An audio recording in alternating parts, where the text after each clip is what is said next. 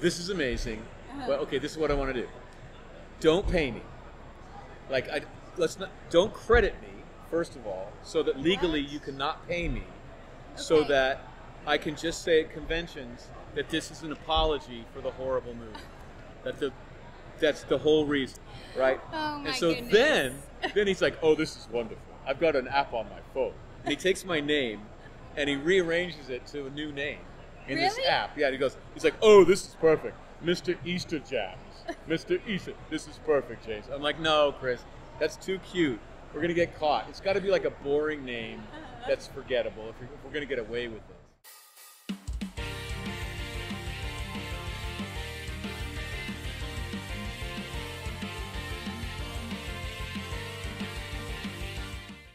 Elise Baughman here with Anime Adventures, and I am with James Marsters today. Thank you for joining me. Yeah. And guess what we're going to talk about? All kinds of things. Anything you want to talk about, Anything. Yeah. Oh, that. except for? Dragon Ball Super. Oh no. No, just kidding. we are going to talk about Dragon Ball Super, Yeah. and we are going to talk about Buffy, and perhaps Torchwood, and Runaways, and so many Smallville, things. you can talk Smallville. about.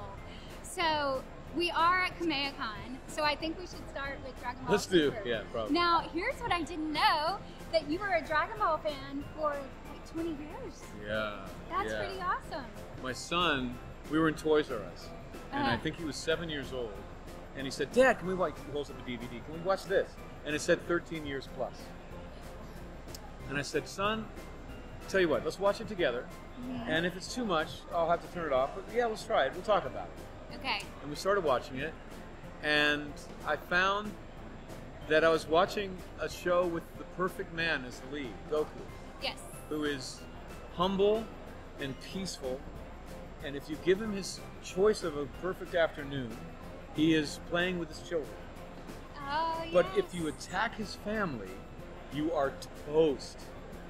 And that's what I think is it's the it's it's the perfect man.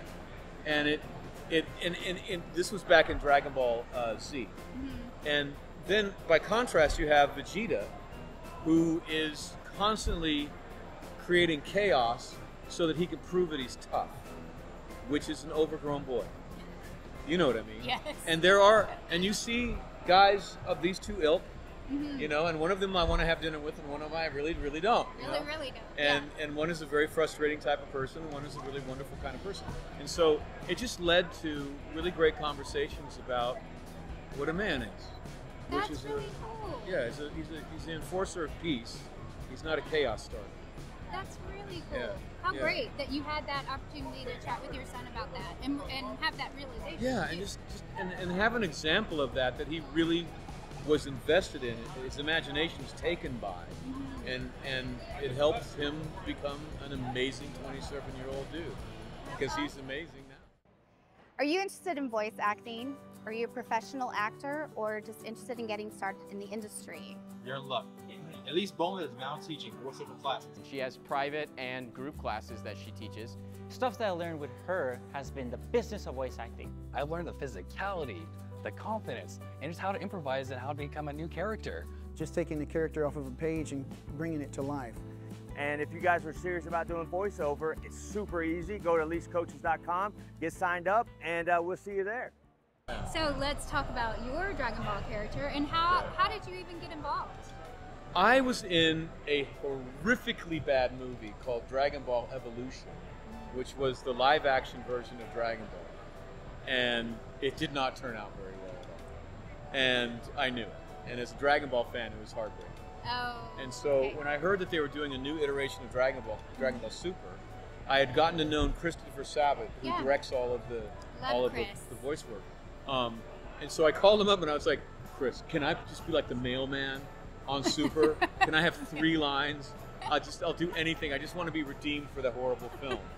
And he's like, I don't know, James. Um, let's put you through the paces. Why don't you come down to Funimation? And, I uh, love your imitation. I don't and- know, James. And so, so I went to Texas. I came here to Texas and uh, went to Funimation, and we sat down and, and he and he put me through the paces for like two or three hours, and sent me home. And a couple weeks went by and nothing happened. I thought, well, I'm not, you didn't live up to Dragon Ball standard. And then he called me up and, and offered me his suit. and I really couldn't believe it. I could not believe it. And so uh, I said, okay, this is amazing, uh-huh. but okay, this is what I want to do. Don't pay me. Like I let's not don't credit me first of all, so that legally you cannot pay me, so Okay. that I can just say at conventions that this is an apology for the horrible movie. That the that's the whole reason, right? Oh my and so goodness. then then he's like, "Oh, this is wonderful. I've got an app on my phone." And he takes my name and he rearranges it to a new name in this app. Yeah, he goes, he's like, "Oh, this is perfect, Mr. Easter Jams, Mr. Easter. This is perfect, James." I'm like, "No, Chris, that's too cute. We're gonna get caught. It's got to be like a boring name uh-huh. that's forgettable if, we're- if we're gonna get away with this." And I was, and I thought I'd try to find a name that was boring enough to be forgotten, but cool if you read it. And I came up with David Gray. So- Seriously. yeah, so David Gray's the credit on the thing, but it's me. I had no idea. Yeah. That's amazing. I had no idea, and I, Yeah. I love these prints. I always love to hold up the prints. yeah, That is so a this fantastic is this is story. before he becomes a total dirtbag. this is before he decides to kill all humans on Earth, and he's not. He's, he becomes disillusioned after about two or three episodes. Yeah. And then he turns into this guy.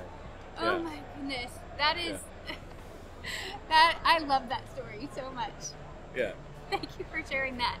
Okay, well, so we will move on from Dragon Ball Mhm. and rewind in your life to Buffy the Vampire Slayer. Uh, yes. yeah. How long were you on that show?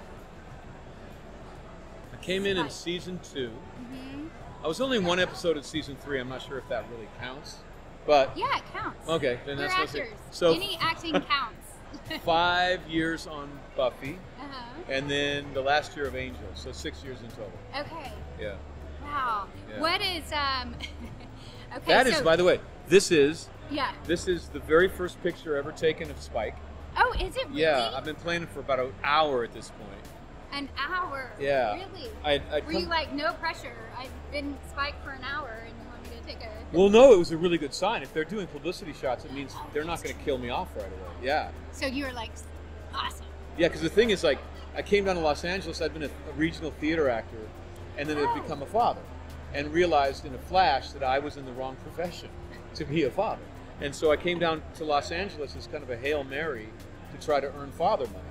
Really? And yeah, and and I uh, by six months I'd gotten Buffy, and they said I was going to be in between five and ten episodes.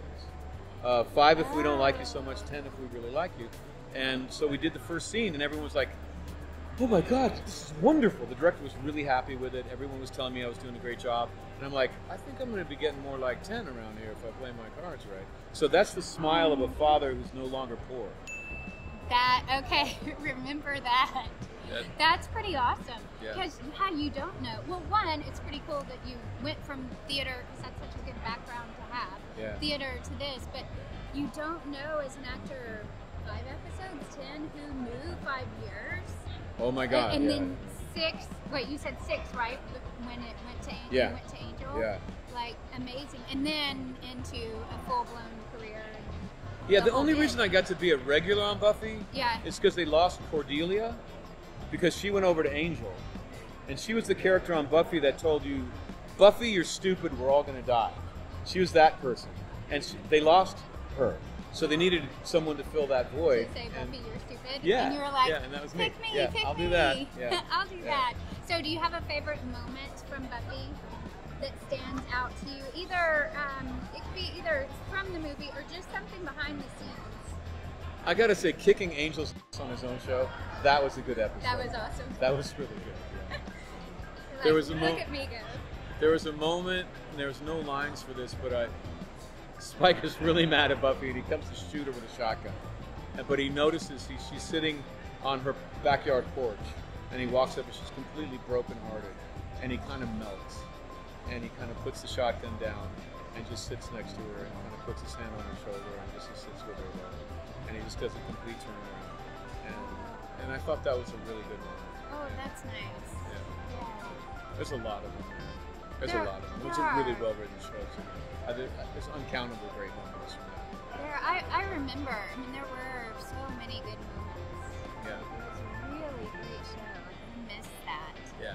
So, and you have, man, you've done so many great shows. Like Smallville Uh huh. was another good one. I almost didn't do Smallville. Oh, really? Yeah, uh, I was out to dinner with the guy who thought it up, Al Gough, Yeah. a great producer, and and I, I was like, Al, I gotta I gotta be honest with you, I'm a Batman guy, and he's like, really? What? Why? And I almost lost the role right there, and I said, Well, well, that would be kind of like a turn, I said, this off. is the thing. When Batman goes to work and he's trying to save people's lives, you don't know if he's going to make it back to the to the mansion because if you shoot him, he's dead. So it's exciting. But Superman is gonna be fine. We know it. It's, not exciting unless you pull out kryptonite, which you do every time there's a movie. You have that scene where Superman might die, and it's very exciting, and they get away with it because it's only one story every few years. But you're doing a new story every week, Al. You can't pull out kryptonite every week. What are you to do? And he's like, James, my Superman is a teenager. He's vulnerable to everything. And I just about dropped my fork. I was like, that is genius. And that's why I think it's just it's it's probably the best the best Superman treatment for television ever made because they just sidestepped the problem with Superman, which is that you got to be vulnerable to have a, uh, an adventure. And Superman being invulnerable, it's very hard. Writers complain about this all the time. It's very hard to write that character. Yeah. But he sidestepped all of that and just treated it as, as a young man growing up. And they had kryptonite and they had super, they could have all that too, but the meat and potatoes of it was really just a dude trying to figure it out. Yeah. Yeah, genius. So at that dinner, did did the tables turn and you decide? oh, I like, oh, completely okay, got on I'm board. I was like, dude, you're a genius. Oh my god. Yeah, he forgave me for the I'm Batman. in. Yeah. Take me, take me. Yeah. So you've done so many other great shows, and I know we could chat forever. But what is one other story that stands out from like Torchwood or Oh, Torchwood's great. or- Yeah, Torchwood was great. Uh, and I'm trying to to get the lead character back to the dark side. So so we meet in a bar and then we beat the living snot out of each other in this huge bar fight. Uh, and that's the introduction of the character. And and I was just like, this is awesome. and John Barrowman uh, and I both come from stage where you don't get a stuntman. So we don't want a stuntman. We're like, we can do this. Get let us like, do this I got this. and uh, and I think the stunts got in for two shots in the whole sequence. It was just John and me just Oh. pummeling each other all day in the bar. It was great.